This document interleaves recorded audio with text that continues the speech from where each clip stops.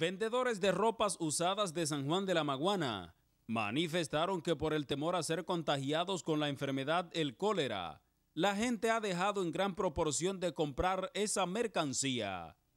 Expresaron que aunque la ropa usada que venden no proviene directamente de Haití, la población tiene temor de comprarla por el miedo de la enfermedad que cada día sigue afectando a mayor número de haitianos. Ha disminuido mucho la venta.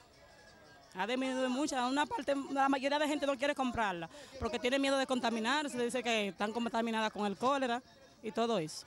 nosotros estamos comprando por Haití. En Haití no hay nada.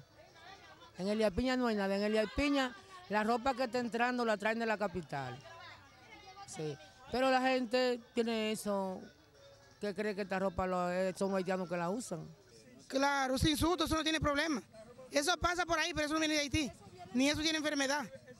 Aquí lo que está matando a la gente no es el cólera, no es el hambre.